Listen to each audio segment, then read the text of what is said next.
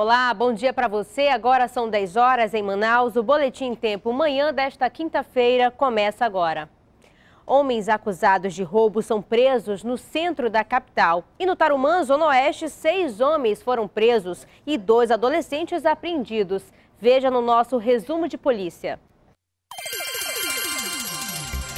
Moisés Ferreira, Ítalo Montefusos e Janderson de Souza foram presos em flagrante na tarde dessa quarta-feira na rua Guilherme Moreira, no centro. De acordo com a polícia, o trio é acusado de cometer assaltos no centro da capital. Um deles, Ítalo Montefusos, estava foragido do compage desde o início do ano. Com ele foram recuperados uma quantia em dinheiro e um telefone celular. Os suspeitos foram encaminhados ao 24º Distrito Integrado de Polícia, onde foram autuados isolados.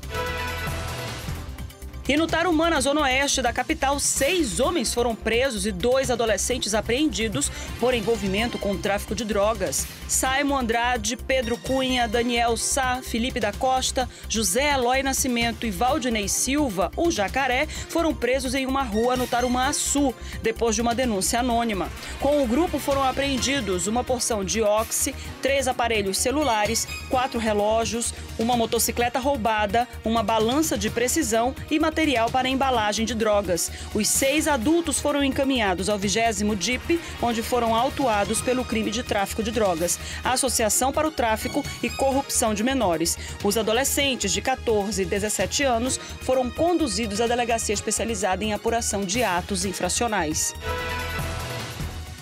Os detentos Aldemir Silva e Lucas Castro Machado foram identificados como autores do duplo homicídio dos presos Alisson Cascais e Tiago Andrade, encontrados mortos na noite de terça-feira na carceragem de uma delegacia de Presidente Figueiredo, região metropolitana. Em depoimento, os presos, que eram companheiros de cela da dupla, confessaram os crimes. Eles disseram ao delegado que a briga começou com uma discussão na cela por uma dívida. As vítimas foram mortas por asfixia asfixia e os corpos apresentavam hematomas e perfurações. A unidade prisional do Puraquequara voltou a receber ontem materiais de higiene e alimentação para os detentos e já teve problemas. Os agentes encontraram drogas escondidas em ovos de galinha. Uma pessoa foi detida e levada à delegacia. As visitas e o banho de sol continuam suspensos. A Polícia Civil apresentou um casal acusado de estelionato na zona oeste da capital. Com eles foram encontradas drogas, granadas e uma metralhadora. Os golpes geraram um prejuízo de mais de um milhão de reais. Nelson Fernando Silva Costa, de 28 anos, e Márcia Mendes da Silva, de 20, foram presos depois de uma investigação que durou seis meses. Eles são acusados de envolvimento em diversos golpes de estelionato, que até o momento somam mais de um milhão de reais. Eles foram presos na casa onde moravam, em um condomínio de luxo, na Ponta Negra, zona oeste de Manaus. Durante as investigações percebemos realmente que a vida que eles levavam não era não condizia com a realidade do casal, né? Tendo em vista que eles não trabalhavam. De acordo com a polícia, Nelson aplicou um golpe de mais de 500 mil reais em uma loja de eletroeletrônicos.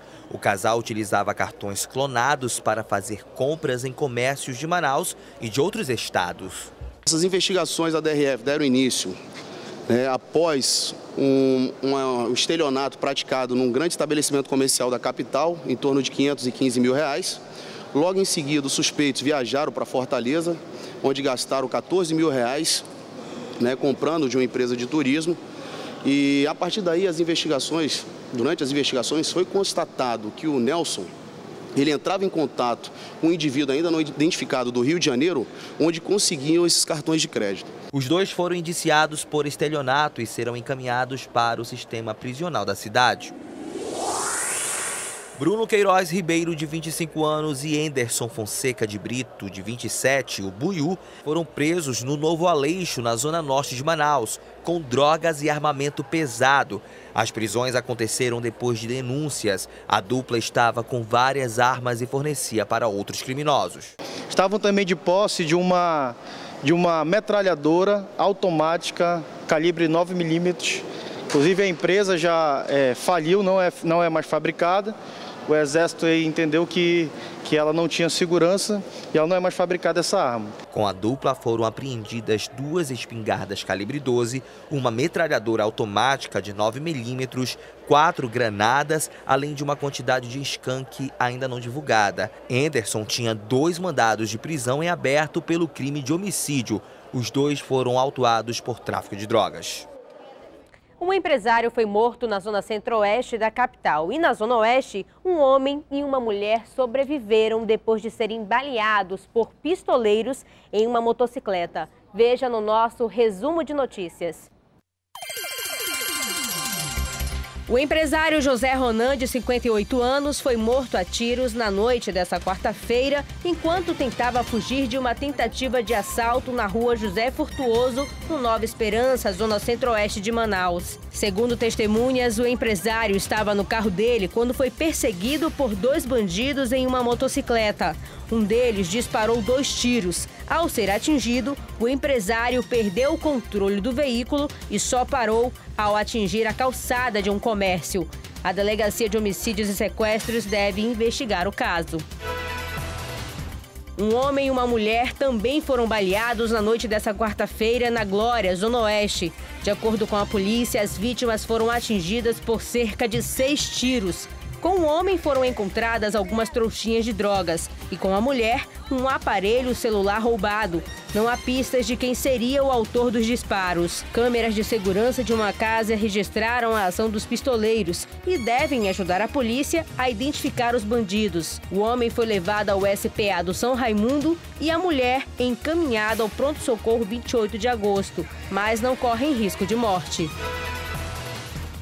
Em Itacoatiara, no interior do estado, os irmãos Jonas Mateus da Silva e o Ângelo Rolim da Silva foram presos depois de uma tentativa de latrocínio. Depois da prisão dos suspeitos, um vídeo em que aparecem exibindo armas e consumindo drogas passou a ser compartilhado em grupos do município. No vídeo, Ângelo Rolim, com o cabelo tingido de loiro, aparece ao lado de um homem que não foi identificado e manda um salve. A facção criminosa A Família do Norte e canta um rap de apologia ao crime. Eles foram levados à delegacia do município, onde foram autuados e permanecem à disposição da Justiça. E ontem, uma audiência pública para debater a implantação do Uber na capital foi marcada por muita confusão na Câmara Municipal de Manaus. O Uber chegou em Manaus há uma semana e, de cara, a maior parte da população apoiou. Tem táxis que querem cobrar muito caro. E, e do jeito que está a crise, gente, tem que ter sim. Tem que ter outra coisa também para o povo, né? Não só o taxista, porque do jeito que está, não deve continuar, né? O assunto é polêmico. Mototaxistas e taxistas são contra o Uber aqui em Manaus. Por isso, uma audiência pública foi realizada aqui na Câmara Municipal para discutir a situação. Foi uma discussão quente. O vereador Chico Preto, do PTN, que propôs a audiência pública, foi vaiado. Tem o direito constitucional, seu presidente, de escolher. Em seguida, no discurso, defendeu o Uber. E o que, que cabe à prefeitura? Cabe aqui em Manaus o que foi feito em Vitória, no Espírito Santo.